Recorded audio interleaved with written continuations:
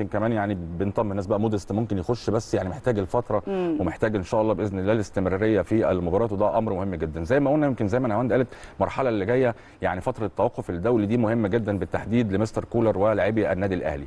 عندنا تحدي قوي وتحدي كبير جدا وهي البطولة يعني بقى اللي فيها نخبة الأندية الأفريقية اللي يمكن مصنفة بشكل كبير جدا الشهر الحالي عندنا.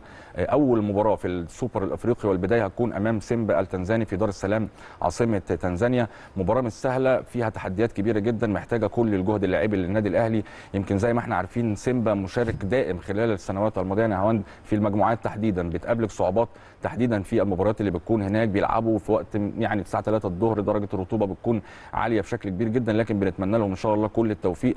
ولمنتخب مصر أيضا كمان في بداية فترة التوقف الدولي. يعني نخرج بأكبر المكاسب في مباراتي زامبيا والجزائر تكون استفادات فنية ويبعد عن الإصابات لأن المباريات دي بيكون فيها حماس كبير جدا وتحديدا مباراه الجزائر اللي بكامل نجومها فيا رب نتمنى التوفيق الأول للنادي الأهلي وأيضا كمان لمنتخبنا الوطني الميعاد بتاع المباراة ده الناس اتكلمت فيه طبعا الموسم الماضي كنا كلنا صح، بنقول طبعاً.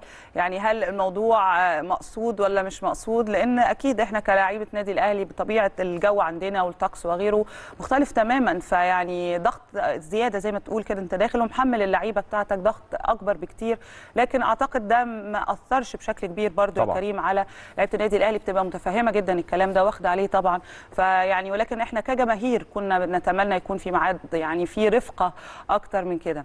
خلينا نتكلم برضو بمناسبة الكلام على بطولات الأهلي اللي بينافس فيها. طبعا هيكون عندنا ماتشين مهمين يوم 20 و 24 أكتوبر أمام سيمبا التنزاني في دوري السوبر الأفريقي.